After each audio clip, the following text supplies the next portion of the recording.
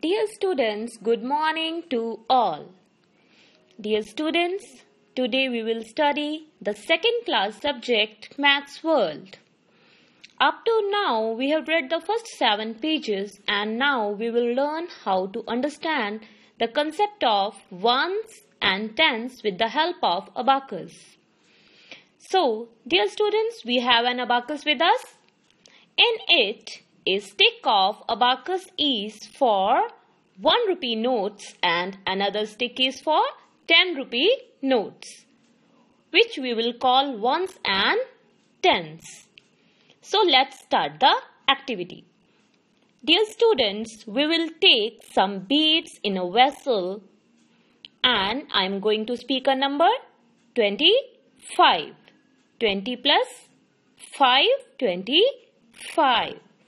It contains 5 ones, so we will put 5 beads in one's abacus stick. 1 and it's the next one. 2 another ball another bead falls in the abacus stick. 3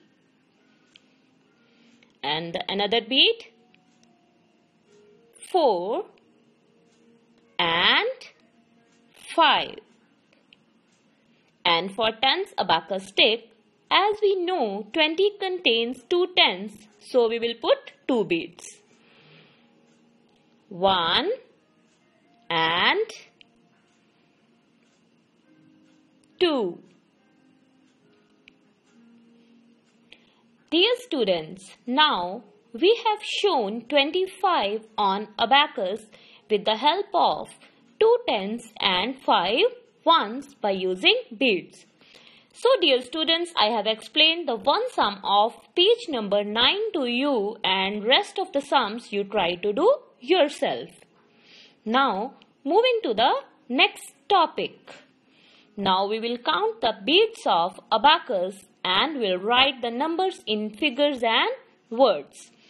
Dear students, it is an abacus, but now on abacus, instead of using ones, tens and currency notes, we will write the short form for ones and tens. We will write O for ones and T for tens. O for ones and T for tens. Now let's add some beads to the ones abacus stick. It's one, two, three. 3 4.